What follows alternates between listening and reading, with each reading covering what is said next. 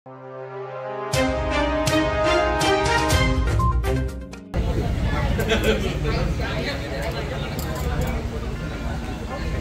Kak Wali, gimana Kak? Hari ini ada giat apa nih Kak? Alhamdulillah hari ini halus 48 ada kegiatan donor darah kita sekaligus silaturahim juga dengan angkatan. Dan ini untuk umum juga. Alhamdulillah kita bisa sampai siang ini sudah puluhan ya. Mudah-mudahan sesuai dengan target. Dan Insya Allah mudah bisa bantu TNI untuk bisa memenuhi stok darah di kota Bogor.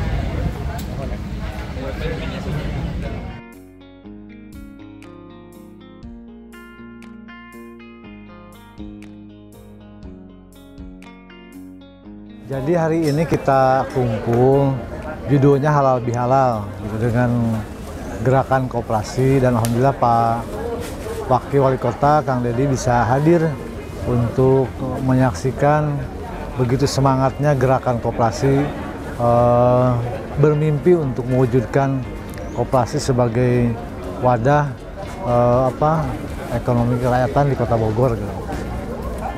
Nah, eh, halal bihalal ini ya tentu bagi kami di koperasi di Dekopinda eh, bukan sekedar untuk silaturahim dan juga bersalaman, menambah wawasan tentang pengolahan teknis pengolahan koperasi secara digital.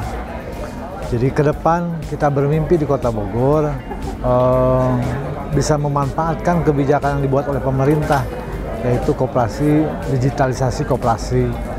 Nah, oleh karena itu kami bergandeng tangan dengan PT Sakti yang alhamdulillah masih anak-anak muda milenial yang punya kemampuan lebih di bidang IT mampu membuat sebuah aplikasi kaitan dengan pengelolaan koperasi secara digital dari mulai awal jurnal transaksi sampai dengan ujung eh, terhitungnya SHU dalam sebuah koperasi.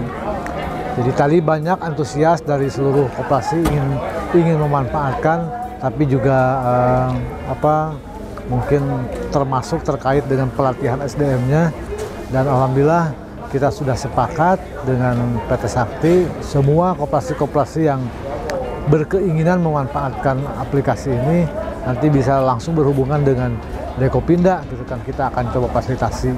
Tidak ada Dekopinda untuk mencari keuntungan. Kami sesuai dengan misinya adalah sebagai wadah untuk menampung dan menyampaikan aspirasi